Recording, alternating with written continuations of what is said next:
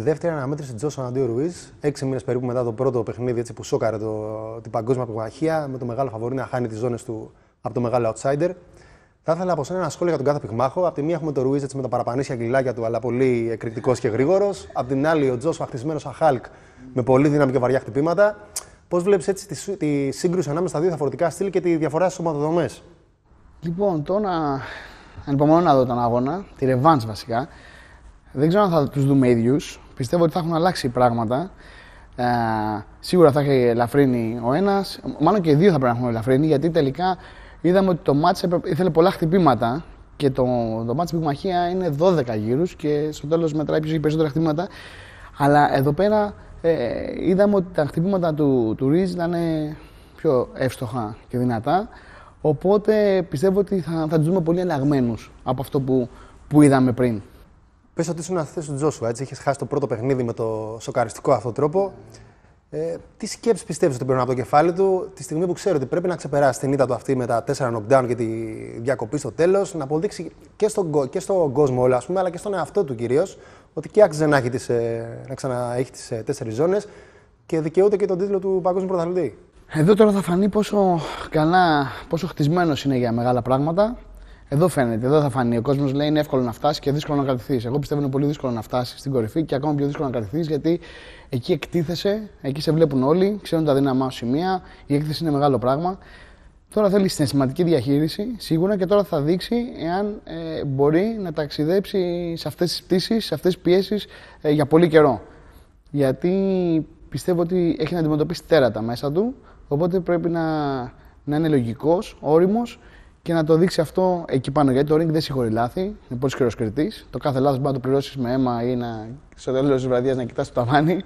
Οπότε θα πρέπει να, να δείξει μεγαλείο και αν πραγματικά μπορεί να, να είναι εκεί πάνω. Ο Ρουίζ λοιπόν πριν λίγες μέρες είπε τα εξής για τον αντίπαλο του. Ο Τζόσουα λέει θα προσπαθήσει να κάνει προσαρμογές στο παιχνίδι του. Δεν ξέρω αν θα θέλει να μπει κοντά και να παίξει ξύλο, να ανταλλάξει χτυπήματα δηλαδή. Αλλά θα ήθελα να το κάνει αυτό γιατί είμαι τεχνικά καλύτερος. Έτσι πιστεύω αυτός τουλάχιστον. Θα προσπαθήσει να με κρατήσει μακριά με τον τζαμπ του, αλλά για πώ θα το καταφέρει αυτό, θέλω να επιβληθώ στον αγώνα. Αλλά δεν θέλω να τον υποτιμήσω γιατί είναι επικίνδυνος. Τον σέβομαι όπως σέβομαι και όσους ρισκάνουν τη ζωή τους μπαίνοντας στο ring.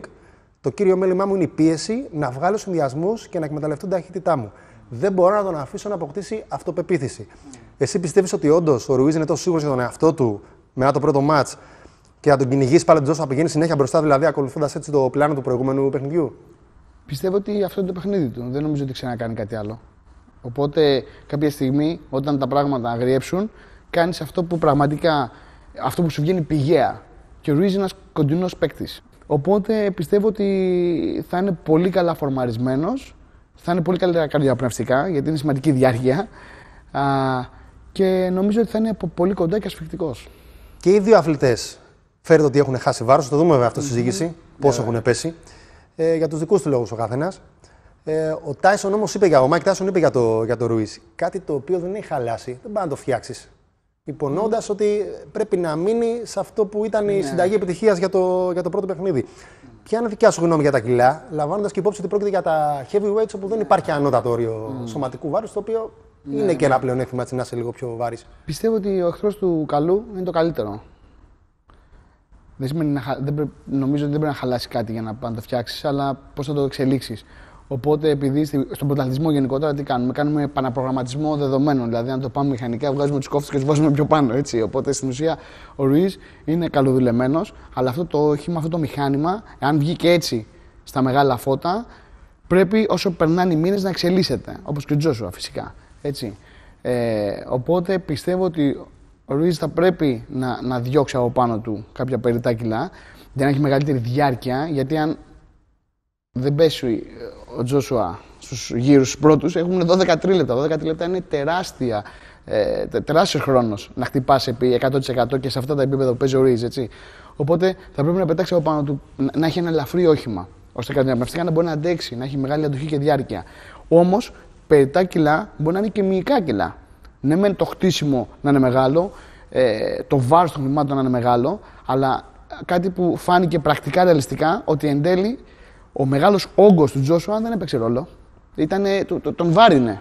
Φούσκωσε, έσφιξε όπως λέμε στο, στο ring, φούσκωσε στην ουσία Οπότε εκεί είδαμε ότι είχε αρχίσει να, να, να δυσκολεύεται. Οπότε λογικά για να μπορεί να αντιμετωπίσει έναν παίκτη τόσο γρήγορο, ε, ταχυδυναμικό, από τυφλές γωνίες, από τόσα χτυπήματα κτλ., θα πρέπει να είναι πιο ελαφρύς. Πιο ελαφρύς, πιο, μυϊκά πιο μαζεμένος. Γιατί ο μεγάλος όγκος πρέπει να μπορεί να τον εκφράσει και στην ταχυδύναμη αλλά και σε ευληγησία. Τις τελευταίες μέρες έχει βγει μια φήμη για τον Τζόσο ότι έχει κακομεταχειριστεί λίγο τους ε, Spark Partners. Δεν ξέρω αν το διάβασες. Έχει χτυπήσει αρκετούς, έχει ρίξει knockdown και ότι πολλοί παίρνουν το αεροπλάνο και επιστρέφουν σπίτι τους. Τώρα, κατά πόσο αλήθεια αυτό που τα Camp θέλουν να, βγα, να βγάζουν έτσι yeah. φήμες όσο πλησιάζει έτσι, το, το παιχνίδι, ότι έχει αγριέψει ο αθλητής τους και είναι έτοιμο πόλεμος. Ε, Πιστεύεις ότι πραγματικά έτσι μπορεί να είναι εξαγριωμένος από το πρώτο μάτς και όλο αυτό το hype που έχει δημιουργηθεί και την αμφισβήτηση στο πρόσωπό του να παρασυρθεί σε ένα πολύ επιθετικό παιχνίδι και να γίνει απρόσεκτος; Σίγουρα πρέπει να επενδύσεις τα αρνητικά σου συναισθήματα σε έργο. Όμως εδώ ναι, πρέπει να δούμε τις δύο οπτικές γωνίες. Αυτό είναι από, από σύγχυση και νεύρα που σου φέρνουν τραυματισμούς, δεν έχεις καθαρό μυαλό και το ρίμπα παίζεις με χιλιοστά. Οπότε, αν δεν πάρεις τη σωστή απόφαση στο κλάσμα, μπορεί να πέσει και νοκάουτ. Ε, ή από καλό φορμάρισμα. Ε, έχω ακούσει και άλλους μεγάλους αθλητές και για άλλους μεγάλους αθλητές να βγάζουν εκνευρισμό μετά από μια ήττα ή από ένα τραυματισμό. Ε, όπου εδώ, όπως προανέφερα στην αρχή, θα δείξει εάν μπορεί να τα απεξέλθει σε αυτά τα, τα, τα επίπεδα. Ευελπιστώ να είναι από μεγάλο φορμάρισμα α, και να δούμε ένα πολύ ωραίο μεγάλο μάτς. Και αν έπρεπε να, να δώσει μια πρόβλεψη, έτσι. Ποια ήταν η πρόβλεψη σου για το παιχνίδι, για το αποτέλεσμα; Είμαι κατά των προβλέψεων.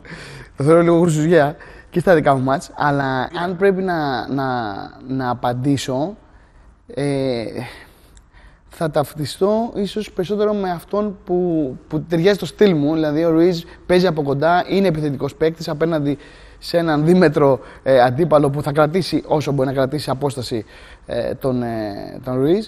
Οπότε θα ταυτιστώ σε, αυτόν το, τον τρόπο και θα, θα υπερασπιστώ αυτά τα, τα δεδομένα και στην ουσία αυτά που πρεσβεύω τόσα χρόνια. Κοντινό παιχνίδι, μάχη, τεχνιδυναμικά μέχρι τέλους. Μέχρι να πέσει νοκάουτ ο αντίπαλος. Άρα βλέπεις νίκη Ρουίζ με ε, πιστεύω ότι αυτοί, αυτοί οι δύο τύποι, επειδή είναι επικίνδυνοι και οι δύο, και φάνηκε αυτό, δηλαδή και ο Τζόσουα με το περάσει ένα χτύπημα, δεν χρειάζεται δεύτερο, πέφτεις. Το θέμα είναι πόσο αντέχεις για να μπορείς να σηκωθείς και να τα απεξέλθει όπως ο Ρουίζ άντεξε και σηκώθηκε, ενώ θα μπορούσε να έχει τελειώσει το μάτσο εκεί. Ε, δεν μπορώ να πω ότι μπορεί να πάει ένα τέτοιο μάτσο 12 γύρους. Δεν το βλέπω δηλαδή. Είναι τόσο δυνατά τα χτυπήματα και η ανθρώπινη αντοχή είναι ελάχιστη μπροστά σε τόσο δυνατά χτυπήματα με ένα τόσο μικρό γαντάκι. Οπότε δεν μπορώ να πω ότι θα πάνε στα σημεία. Δεν, δεν μπορώ να το δω αυτό το πράγμα. Δηλαδή, αν γίνει αυτό, θα, είναι, θα, θα με σοκάρει αν καταφέρουν να πάνε στους 12 γύρους. Και δεν ξέρω τι φθορές θα έχουν προκαλέσει στα κεφάλια τους. Και αν έβλεπες και γύρω. Α, τόσο πολύ να το πάμε. να το πάμε, να το πάμε τέρμα. Πιστεύω ότι ένας από τους δύο θα πέσει σίγουρα στους, μέχρι, μέχρι το μισό. Δηλαδή, έτσι όπως είδα το match και όπως φαντάζομαι ότι θα κατέβουν, γιατί άκουσα κάτι και για ένα τραυματισμό του Τζόσουα, κάτι που περιφέρεται, που μπορεί και να μην ισχύει, μπορεί και να ισχύει, αλλά μην ξεχνάμε ότι πριν 6 μήνες έπεσε 4 φορές. 4 φορές. Δηλαδή, συνήθως λένε ότι όταν ένας αντίπαλος πέσει κάτω, σε νοκάουτ, θέλει μετά 6 μήνες αποκατάσταση. Τα σκοτωμένα κύτταρα να, τα, να, να, να, να ξαναζωντανέψουν, βασικά να, τα, τα νεκρά κύτταρα να φύγουν και να έρθουν τα επόμενα, να γίνει ανάπλαση.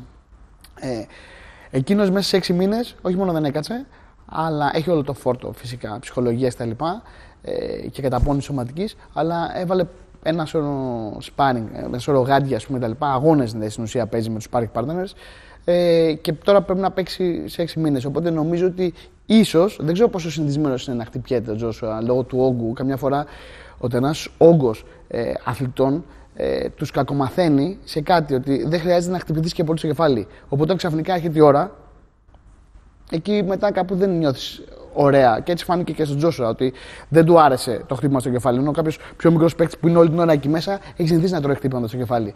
Οπότε γι' αυτό, εάν μπορώ να κάνω μια πρόβλεψη με βάση αυτά τα, τα δεδομένα, νομίζω ότι ε, έχει πλεονέκτημα ο, ο, ο Ρουίζ ε, και πιστεύω ότι αν δεν μπορέσει να, να ανταπεξέλθει καλά και να βγάλει αυτό το, το καινούριο παιχνίδι που πρέπει να κάνει να μπει ο Τζόσουα, νομίζω ότι μέχρι του, μέχρι τη μέση του, του αγώνα που είναι οι 6 γύρι, τα 6 τρίλεπτα, ίσως να δούμε κάποια, κάποια έκπληξη.